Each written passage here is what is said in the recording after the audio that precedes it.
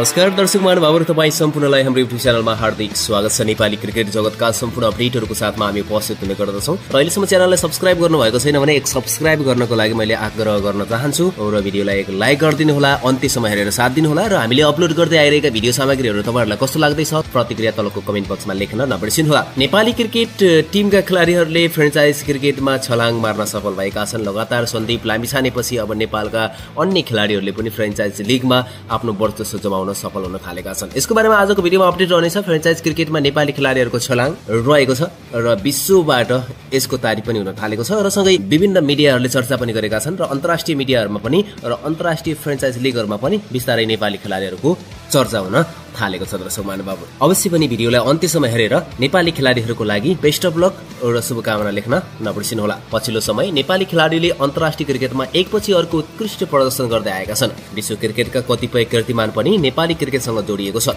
यसले नेपाली क्रिकेटलाई क्रमशः व्यावसायिक बाटोमा अग्रसर बनाउन पनि महत्वपूर्ण भूमिका निर्वाह गरेको पाइन्छ।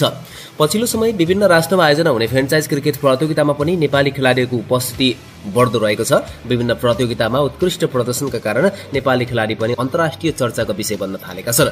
यसै क्रममा प्रभावशाली अलराउन्डर दिपेन्द्र सिंह ऐरी सन् दुई हजार चौबिसमा विभिन्न राष्ट्रमा आयोजना भएको वा हुने चारवटा फ्रेन्चाइज प्रतियोगितामा खेल्ने पहिलो नेपाली क्रिकेटर बन्ने भएका छन्।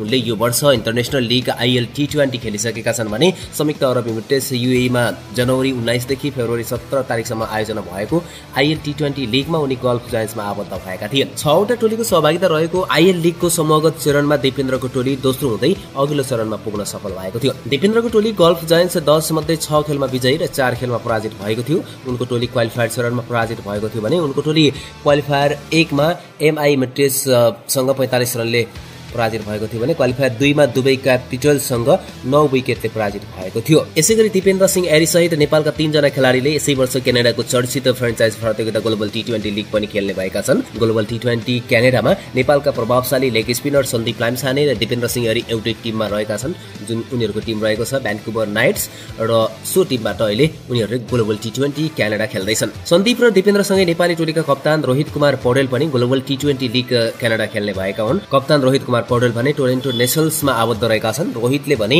पहिलो पटक विदेशी फ्रेन्चाइज लिग क्रिकेट खेल्न लागेका छन्। यो सिरिजको ग्लोबल टी ट्वेन्टी लिग जुलाई पच्चिस तारिकदेखि सुरु हुँदैछ दर्शक महानुभावहरू यसै गरी दिपेन्द्र सिंह एरीले यसै वर्ष स्कटिस टी टेन लिग पनि खेल्ने भएका छन्। स्कटल्यान्डको स्कटिस टी टेन लिगमा उनी पर्थ रोयल्समा आबद्ध छन् भने प्रतियोगिताको यो पहिलो संस्करण रहेको छ। प्रतियोगिता अगस्त सोह्रदेखि एकतिस तारिकसम्म सञ्चालन हुने बताइएको छ। Scottish super T ten England बाहिर आयोजना हुन लागेको युरोपको पहिलो अन्तर्राष्ट्रिय फ्रेन्चाइज क्रिकेट पनि हो यो जानकारी प्राप्त भएको छ। प्रतियोगितामा छवटा टोलीको सहभागिता रहने बताइएको छ भने प्रतियोगितामा विश्वकै चर्चित खेलाडीहरूको पनि उपस्थिति रहने बताइएको छ। यसै गरी दिपेन्द्र सिंह हेरीले यसै वर्ष आयोजना हुने म्याक्स सिक्सटी क्यारिबियन टी टेनमा पनि सहभागिता जनाउने भएका छन्। म्याक्स सिक्सटी क्यारिबियन लिगमा दिपेन्द्रका अतिरिक्त नेपाली टोलीका रोहित कुमार पौडेलको पनि सहभागिता रहने भएको छ। Max sixty Caribbean T ten league cricket Cayman टापुमा अगस्त अठारदेखि पच्चिस तारिकसम्म आयोजना हुनेछ भने उक्त लिगमा दिपेन्द्रले ग्रान्ड केम्यान स्टिग्रेन्सबाट खेल्नेछन्। छन्। उक्त टोलीमा Alex Hales Robin Uthappa Ben Duck लगायतका चर्चित खेलाडीहरू पनि आबद्ध रहेका छन्। कप्तान रोहित कुमार पौडेलले भने डी मायामी लायन्सबाट आफ्नो क्षमता प्रदर्शन गर्ने भएका छन्। मियामी लायन्समा वेस्ट इन्डिजका प्रभावशाली खेलाडी डोहेन ब्राबो पनि सहभागी छन् भने यसका अतिरिक्त उक्त टोलीमा सोएब मलिक रवि बोपार कोरी एन्ड्रेसन जस्ता खेलाडीहरू पनि आबद्ध रहेका छन्। यद्यपि स्कटिस सुपर टी टेन र Max sixty Caribbean T ten लिगको विषयमा भने आफूहरूलाई औपचारिक रूपमा जानकारी नरहेको नेपाली क्रिकेटको नेतृत्वदायी निकाय नेपाल क्रिकेट संघ क्यानले जनाएको छ। युएमा सम्पन्न आइएल र क्यानाडामा हुने ग्लोबल टी ट्वेन्टी लिगको बारेमा क्यानलाई जानकारी छ। बाँकी दुई लिगको विषयमा औपचारिक रूपमा जानकारी भएको छैन क्यान स्वरूपले भनेको छ।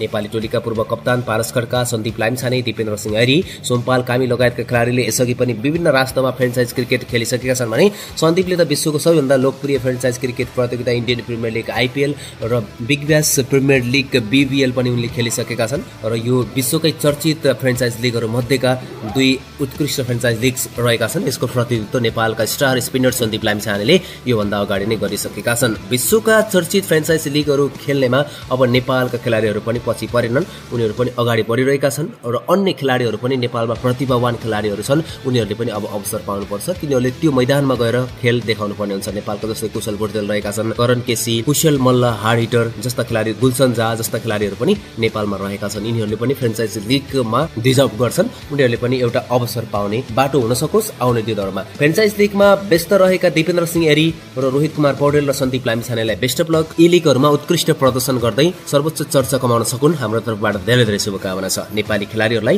र अन्य खेलाडीहरूलाई पनि आउने एउटा वातावरण सिर्जना गर्न सकुन्। धेरै धेरै शुभकामना। हाम्रो तर्फबाट दर्शकवृन्द तपाईँले के भन्न चाहनुहुन्छ? दिपेन्द्र सिंह एरी लगातार फ्रेन्चाइज लिगमा आबद्ध भएका छन्। र अन्य खेलाडीहरू कुन कुन खेलाडीहरूले फ्रेन्चाइज लिगमा डिजर्भ गर्छन्? यसको बारेमा तलको कमेन्ट बक्समा कमेन्ट लेखिदिनु होला र नेपाली खेलाडीहरूलाई शुभकामना दिन नबिर्सिनु होला बेस्ट अफ लक भन्न नबिर्सिनु होला र च्यानललाई सब्सक्राइब गरिदिनु होला भिडियोलाई लाइक गर्न पनि नबिर्सिनु होला अर्को अपडेटमा हाम्रो भेट हुने नै छ। अहिलेलाई भने बिदा दिनुहोस्। जय नेपाल जय नेपाली क्रिकेट।